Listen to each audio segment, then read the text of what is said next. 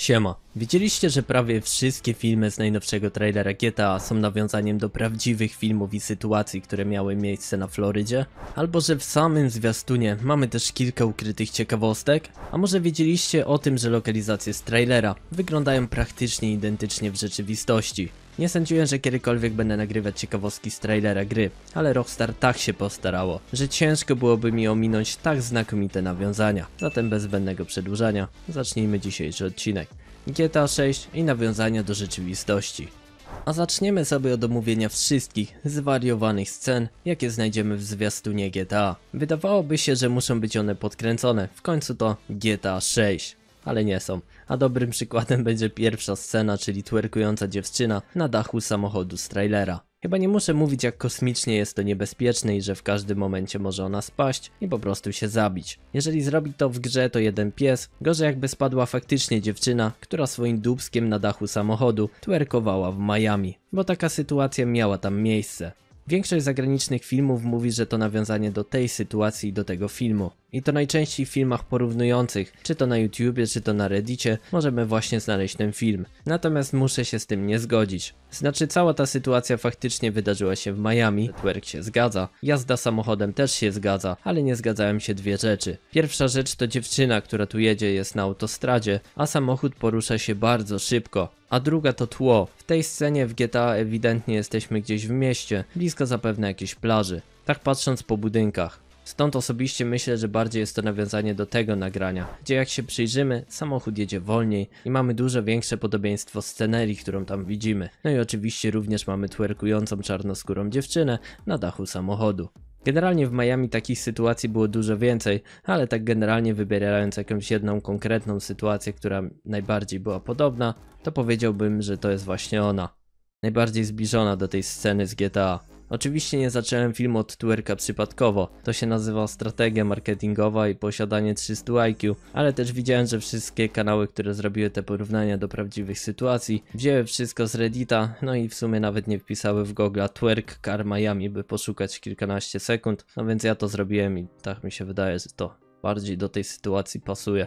Pierwsza sytuacja z trailera może nie ma bezpośredniego nawiązania do prawdziwego życia, albo przynajmniej nie jest ona odwzorowana jeden do jeden, w przeciwieństwie do drugiej sceny z tak zwanym Jokerem, który praktycznie maczuje się z tym prawdziwym perfekcyjnie, ale po kolei bo sytuacja ta naprawdę jest ciekawa. Jeżeli porównamy sobie sceny z GTA 6 i nagranie z sądu Miami, obydwie pokrywają się praktycznie identycznie. I właściwie w sumie jest to większy problem dla Rockstar niż może się to z początku wydawać, bo gościu do którego jest to nawiązanie chce ich pozwać. Prawdziwy Joker z Florydy nazywa się Lorenz Sullivan i bardziej jest znany w Stanach jako Joker 305 i w sumie jest on dość znanym gościem na Florydzie. Chłop ma 35 lat, a do Miami przeniósł się za dzieciaka, ponieważ jego mama chorowała na stwardnienie rozsiane i w tym całym Miami musiała się leczyć czy coś takiego. W ósmej klasie wpadł na świetny pomysł rzucenia szkoły i zaczął sprzedawać narkotyki, a później pracował wymachując tym takim znakiem reklamowym w lokalnym salonie masażu. Wiemy to wszystko ze względu na liczne wywiady, których udziela nie tylko telewizyjne, ale też uczestniczył w różnych podcastach, w których opowiadał swoją historię. Ale to nie jest najciekawsze bo jak każdy superbohater i superzłoczyńca, Sullivan również ma swoją mroczną historię, o której opowiedział w jednym z wywiadów, o tym jak zaczął swoją przemianę w Jokera. I mean, I see myself as a, a humble, respectful guy, but the beast is in there that can snap any given second. I just know how to keep him grounded and humble. W 2015 roku jego najlepszy przyjaciel został zamordowany, co zniszczyło mu życie a w dodatku jego dziewczyna za jego plecami dokonała aborcji. Podczas kłótni zaatakowała go również nożem, co pozostawiło wiele blizn na jego rękach i ramionach. Jego życie pokrył mrok, Stwierdził, że ma on tego wszystkiego dość i rozpoczął swoją przemianę w Jokera, tatuując sobie całą twarz. W 2013 roku został zatrzymany za posiadanie marihuany, a w maju 2017 roku został aresztowany za posiadanie broni, którą to celował w przejeżdżające samochody, co sprawiło, że trafił na strony wielu newsowych artykułów. Osiem dni później też ponownie został aresztowany, co również nie odbiło się bez echa w sieci, ale to właśnie nagranie tego incydentu z bronią z 2017 roku było inspiracją dla Rockstar przy tej scenie. W trailerze mamy napisane prawdopodobnie po hiszpańsku, wyznanie napisane atramentem, tatuaż na szyi, który sam się zdradza, kluczowy w przekazaniu człowieka Leonidy. Co akurat nie ma bezpośredniego nawiązania do Sullivana, niemniej pomyślałem, że jednak ktoś się może zastanawiać co tam pisze, a nie chce mu się wpisywać tego wszystkiego w tłumacza, więc po prostu wam to przetłumaczyłem. A Leonida to fikcyjna Floryda z GTA 6.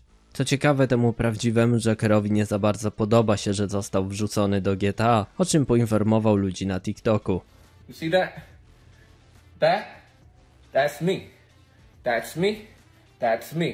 GTA, we we gotta talk, GTA. We gotta talk. Or not, you gotta give me like a. So what's up? I tak generalnie to strasznie nie lubię takich ludzi, którzy tak robią, bo rozumiem, że gościu jakby został dodany do gry bez pytania i że generalnie jest to oczywiste nawiązanie do niego. Ale ze względu na to, jak bardzo oczywiste jest to nawiązanie, chłop właśnie zrobił milion wyświetleń na swoim jednym TikToku i dostał gigantyczną szansę od Rockstar. Do tej pory chłop był znany jako idiota z Florydy, na Florydzie. Chłop swoją drogą nawet nie chciał prawnika, którego miał dostać tam za darmo w sądzie, mimo tego, że oskarżony był całkiem o solidne przestępstwo. A teraz dostał szansę być znanym jako gość z trailera GTA 6 i zamiast to jakoś wykorzystać, postanowił grozić Rockstarowi. Firmie, która pewnie na jednego prawnika dziennie wydaje tyle, co jego cała rodzina i przodkowie od tysięcy, tysięcy lat razem wzięci. Myślę, że ten TikTok będzie dobrym podsumowaniem tego, co myślę. GTA, we gotta talk. No, you don't. You don't need to talk to them. They're not going to talk to you. They've had people like you trying to sue them for decades. They are lawyered up, man. They know exactly what they can and cannot get away with. If I were you, I would use the notoriety that they just threw your way to my advantage. Capitalize it on it somehow. You ain't getting a job in Home Depot with that face.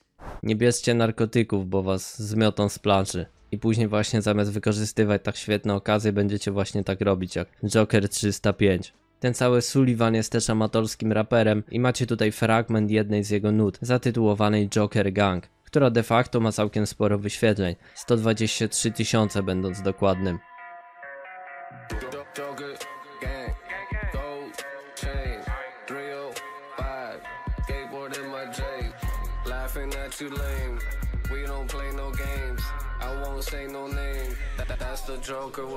Jeżeli myślicie sobie, Jezusie Nazarejski, ale to był kloc, to posłuchajcie jego poprzedniej nutki o tytule Fuck. Fuck that red hair hoe, fuck that red hair hoe, fuck, fuck that red hair hoe, fuck that red hair hoe. Przy tej nucie to Joker Gang to jakiś masterpiece. Jego mama też w jednym z wywiadów powiedziała, no i tutaj z początku klasyka, to dobry chłopak.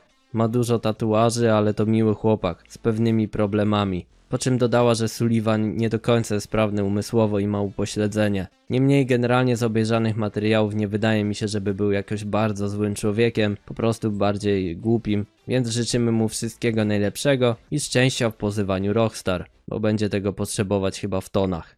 Nie jest on też w ogóle jedynym gościem, który chce pozwać Rockstar, już po samym trailerze. Jakaś laska na Twitterze też uważa, że ten NPC łażący przez 3 sekundy w trailerze to ona i chce 200 tysięcy dolarów. Nie wiem skąd się ci ludzie tam biorą. No Floryda chyba. To spawn. Spawn dziwaków. Szczęścia z pewnością nie miała osoba, która znalazła się w sytuacji, kiedy chciała sobie popływać w basenie, a tam zamiast napompowanego krokodyla znalazła wielkiego, no ale prawdziwego krokodyla. Nie sądzę, że jest to nawiązanie do jakiejś konkretnej sytuacji czy osoby, tak jak to miało miejsce w poprzednim przypadku, ale na Florydzie w istocie często dzieje się tak, że krokodyle znajdują przejście i dostają się do różnych basenów. Nie jest to jakoś dla nich wybitnie ciężkie, bo te w sumie potrafią wy- wygiąć ogrodzenie, jeżeli chcą gdzieś się dostać. Co przykładowo możecie zobaczyć na tym filmie. Podoba mi się jak ten gościu jeszcze tam pomaga temu krokodylowi przejść na drugą stronę. Oczywiście sytuacja również miała miejsce na Florydzie. Floryda to dość zaludnione miejsce, gdzie często właśnie przy takich bagnach, gdzie ży żyją naturalnie takie stworzenia, bogaci ludzie budują sobie domy z basenami, więc tak jak mówię, nie jest to jakiś jeden odosobniony przypadek. Za to ta sytuacja naprawdę się wydarzyła. Tylko w prawdziwym życiu wyglądała ona delikatnie inaczej. Po pierwsze, mężczyzna na nagraniu z prawdziwego życia był czarnoskóry, a po drugie nie był wcale goniony przez policję. I poddał się od razu po tym, jak policja przybyła na miejsce. Uzbrojony był też w maczetę i tak jak w GTA ta sytuacja również miała miejsce na stacji paliw.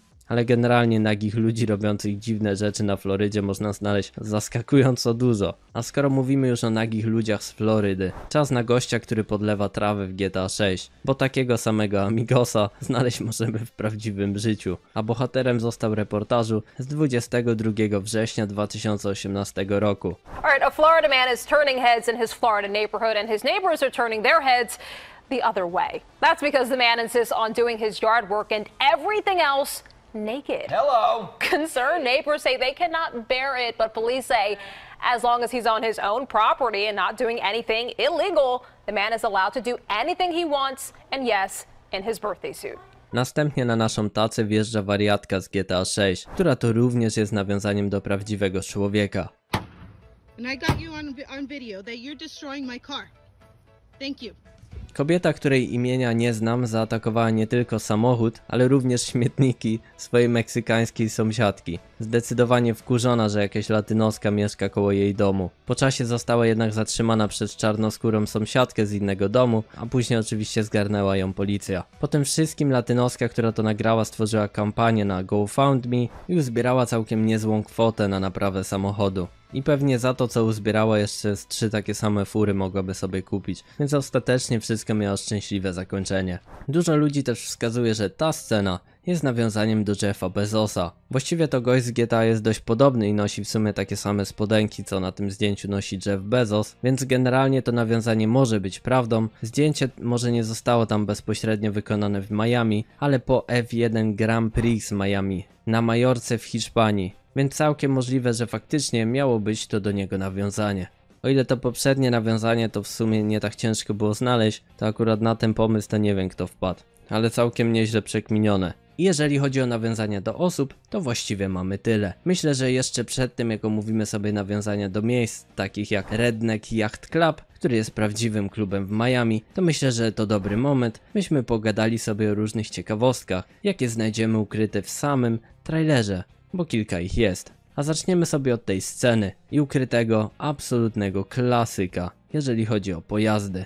Generalnie trzeba się mocno przyjrzeć, ale jeżeli zbliżymy trailer, będziemy mogli zobaczyć pewien żółty samochód. W oryginalnym Vice City możemy znaleźć tą furkę stojącą przed Ocean View Hotel, w prawdziwym życiu również możemy znaleźć taki samochód przed hotelem Avalon, a w GTA 6 stać on będzie przed hotelem Breakwater, dawnym Ocean View Hotel ale w trailerze znaleźć możemy też nawiązanie do samego autora piosenki, którą słyszymy w zwiastunie, czyli do autora piosenki Love is a Long Road by Tom Petty. Na drzwiach w jednej z scen trailera możemy znaleźć naklejkę Petty Forever, czyli Petty na zawsze. Przypominam, autor piosenki to Tom Petty.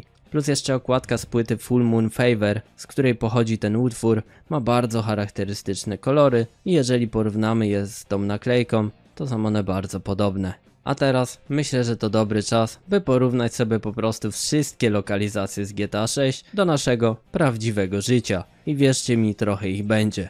A zaczniemy sobie od tej sceny z lotu drona na plażę, bo w prawdziwym życiu możemy znaleźć dosłownie identyczne miejsce w Miami. Z dokładnie takimi samymi czteroma budynkami. Nie umieścili niby oni tam jednego budynku, ale wiadomo, że mapa nie może być odzorowaniem 1 do 1, bo musiałaby być dosłownie gargantuiczna. A i tak ma być dużo większa od GTA 5, tak mniej więcej dwa razy. Więc tak czy siak dostaniemy ogromną, ale naprawdę ogromną połać terenu. Mapa ma mniej więcej wyglądać tak, ale w sumie ona co chwilę się zmienia, więc sam nie wiem. Ta chyba jest stworzona na podstawie oficjalnego zwiastuna, więc jako tako chyba najbardziej będzie przypominać tą oryginalną. Szczególnie w tym obszarze, gdzie dostaliśmy najwięcej scen z trailera, czyli oczywiście w samym Vice City. Pewnie ten region jest całkiem nieźle odwzorowany. Następnie mamy tą scenę, nie ma konkretnego takiego samego miejsca w Miami, ale sam ten jeden budynek przypomina to co widzicie teraz po prawej stronie, a budynek tam w oddali, który widzimy prawdopodobnie nazywa się 500 Brickley Ave i już jak najbardziej istnieje w prawdziwym życiu. Następna scena to przepiękny widok z samolotu i również to miejsce możemy znaleźć w prawdziwym życiu. In real life nazywa się to Florida Keys. Jest to taka autostrada łącząca kilka wysp na Florydzie z Miami. I powiem wam szczerze, że w prawdziwym życiu wygląda to naprawdę mocarnie. Niektóre odcinki są dosłownie pośrodku niczego i z tego co tam ludzie opisują podróżując tą autostradą, czujesz się jakbyś jechał samochodem w środku oceanu. Jak dla mnie wygląda naprawdę mocarnie. I znajdziemy tam też taki balon, czyli grubego Alberta. Balon wypełniony helem. Takie balony były używane do naprawdę różnorakich rzeczy, od dalszego przekazywania sygnału telewizyjnego do szpiegowania karteli. Nie wiem co gruby Albert robił dokładnie, ale zgaduję, że przez 35 lat służby to wszystko robił w sumie, po trochę, po trochę wszystkiego. Teraz stoi chyba nieużywany. W następnej scenie widzimy Jasona jadącego z Lucją, a po lewej stronie to co wam teraz zaznaczam, to prawdopodobnie Casilla Center, czyli boisko koszykówki w Miami. Tak uważam przynajmniej, że jest to te Casilla Center. Jak generalnie jedziemy z Lucją, to ona jest mniej więcej właśnie gdzie- gdzieś tutaj. Możemy to jakby wywnioskować po tym budynku specyficznym. Jakby tutaj znajduje się, tutaj generalnie znajduje się po pierwsze Muzeum Sztuki, a tutaj dalej znajduje się jakby Muzeum Nauki. No jak sobie spojrzycie, to tak wygląda ten budynek i on nie za bardzo, nie za bardzo przypomina ten, który widzimy tam tam w GTA w tej scenie, więc generalnie wydaje mi się, że oni po prostu zmniejszyli to i przenieśli ten budynek, czyli właśnie te Casilla, Casilla Center, który jest zaraz obok, po prostu na to miejsce tutaj, nie? I, I troszeczkę zmniejszyli tą mapę, tak mi się wydaje. A w prawdziwym życiu, no to tak jak mówię, tutaj Selucja jedzie, no i tutaj mamy te, te budynki.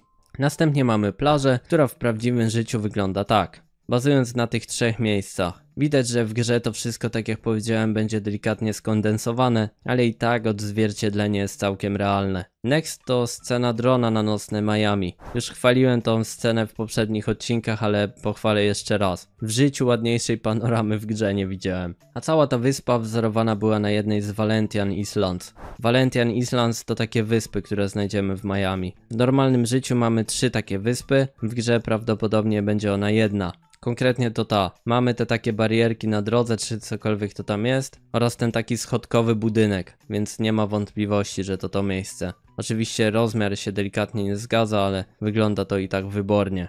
A sam klub Trillbilly Mad Club wzorowany był na 99% na Redneck Mad Park z Florydy, z którego to filmy w necie można znaleźć dość łatwo. W ogóle to taplanie się w błocie to jakaś dziwna idea. Z drugiej strony to jakieś takie jeżdżenie samochodami tam by nie utknąć w tym całym błocie brzmi w sumie jak całkiem fajna zabawa. To pewnie jak z imprezami szkolnymi czy takimi urodzinowymi. Z trzeciej perspektywy te osoby co tam piją i tańczą wyglądają jak zwierzęta. Jakby była generalnie w sumie tam straszna stypa. A z drugiej strony jakbyś tam pewnie był, to pewnie całkiem dobrze byś się bawił. Następnie mamy Ocean Drive i ten budynek znaleźć możemy w prawdziwym życiu. Nazywa się Breakwater oraz ten budynek również możemy znaleźć w prawdziwym życiu, a nazywa się Victor. I mamy tą całą scenę, gdzie, gdzie są imprezy i tak jakby w prawdziwym życiu wygląda, jest, jest tutaj. Mamy tutaj ten napis Victor, czyli ten hotel Victor. E, No i jakby ta scena cała działa się tutaj. Żebyście mieli perspektywę mniej więcej jak to będzie wyglądać. E, No to tutaj mamy od razu zaraz plażę. No i tutaj jest taka dzielnica, dzielnica tak zwanej zadymy. Tu są różne właśnie te imprezy, jakieś tu właśnie te, ten samochód zielony, y, niebie, żółty stoi gdzieś. I to jest taka, taka dzielnica, dzielnica imprez. Żebyście mieli tutaj perspektywę, to mam jeszcze oddalę. To się znajduje tutaj na jakiejś takiej osobnej wyspie. Chyba, chyba mniej więcej tutaj dostaliśmy też scenę z plaży. Ale mogę się mylić, bo już nie pamiętam gdzie to było. Nie wiem czy to na tej wysepce. No wysepek jest dużo w Miami, nie? Ta, ta akurat znajduje się jakby, jakby tutaj, nie? Ten hotel. Mamy też taki napis Vice. Oczywiście taki sam napis istnieje w prawdziwym życiu, tyle że nie z napisem Miami. Z jakiegoś powodu Miami nie ma takiego napisu, ale bardzo podobne możemy znaleźć na całym świecie. Między innymi napis Hollywood, albo w Polsce znane na cały świat Nadolany. W, każd w każdym razie te znaki są dość powszechne. Nie słyszeliście o Nadolanach? Dziwne. A jeszcze dodatkowo w tej scenie z Bezosem faktycznie możemy znaleźć takie miejsce w prawdziwym życiu. A ta scena prawdopodobnie z tym Jeffem Be Bezosem to dzieje się właśnie też koło tego Casilla Center. I no mniej więcej tutaj, co możemy tam zobaczyć po budynkach. Prawdopodobnie jakoś mniej więcej tutaj, coś takiego, nie? To jest bardzo charakterystyczne. Można, można to zobaczyć, ten budynek. Tak mi się wydaje, że to ten. Czyli, czyli gdzieś tutaj zaraz to było. Tutaj. Mamy też oczywiście Winewood Miami, które było zdecydowanie inspiracją przy tej scenie dla Rockstar, a konkretnie chodzi tutaj o Winewood Art District, czyli dzielnicę, gdzie znajdziemy najróżniejsze galerie, ale też prywatne kolekcje sztuki, czy różne malowidła na zewnątrz. Stworzona została ta dzielnica przez Tonego Goldmana w 2009 roku, który miał pomysł na ożywienie właśnie tej dzielnicy i stworzenie swoistej kopuły dla artystów z Miami. No i ta jakby scena w prawdziwym życiu to się prawdopodobnie dzieje tutaj, dokładnie mniej więcej w tym miejscu i, i dokładnie tutaj chyba, prawdopodobnie. Co możemy tam po tym charakterystycznym budynku z tyłu z- zobaczyć. Żeby do, żebyście mieli troszeczkę perspektywę co do innych miejsc, to, to jest tutaj, czyli dosłownie w środku Miami. Jak spojrzycie sobie na moją myszkę, tak by tutaj znajdują się te wyspy, gdzie był ten nocny, nocny shot, że tak powiem. Tutaj jechała sobie e, Lucia samochodem w tej scenie. No i tam, tam mamy tą scenę z tym portem, nie? Czyli to jest praktycznie środek tutaj Miami. Czyli w sumie dostaliśmy bardzo jakby, bardzo dużo scen z tego jednego miejsca. No, nie, nie dostaliśmy gdzieś nigdzie tutaj tych miejsc, nie? Bardzo, bardzo wszystko w takim centrum Miami bym powiedział. Do tego mamy też pierwszą scenę i w prawdziwym życiu to miejsce wygląda mniej więcej tak. Dobra, i ta scena jakby pierwsza z trailera prawdopodobnie jest tutaj, czyli water treatment w Miami. E, no i tak to wygląda. Żebyście mieli perspektywę, to mam to oddalę. Znajduje się to mniej więcej tutaj. I żebyście mieli jeszcze więcej perspektywy, no to jakby tutaj mamy scenę z tymi łodziami, co podróżują. Tutaj mamy scenę z Bezosem, to tutaj mamy scenę z jadącą Lucją. I tutaj mamy Winewood. Wydaje mi się, że to bardzo, bardzo podobna miejscowa. Zapomniałem też powiedzieć o tym fragmencie zwiastuna, a w sumie to całkiem ciekawe, bo nieomalże identyczną scenę możemy znaleźć w filmie Miami Vice z 2006 roku. Ale też Rockstar podobno dość mocno inspirował się przy wydawaniu gry GTA Vice City serialem Miami Vice z 1984 roku, który emitowany był do 1990 roku. I jakby ta scena prawdopodobnie dzieje się w prawdziwym życiu mniej więcej właśnie w tym fragmencie że oni sobie gdzieś tutaj płyną. Albo gdzieś tutaj, albo gdzieś tutaj. Tak, żebyście mieli perspektywę, to jest to jest port taki Miami. Wcześniej byliśmy tutaj, nie? Tutaj się działa scena z Bezosem. Tutaj jakby Lucia sobie jechała, a ta scena działa się to jest tam, a ta scena dzieje się tutaj. Czyli całkiem, całkiem spory kawałek. Poznaj Miami z Czechem. Wycieczka po Miami.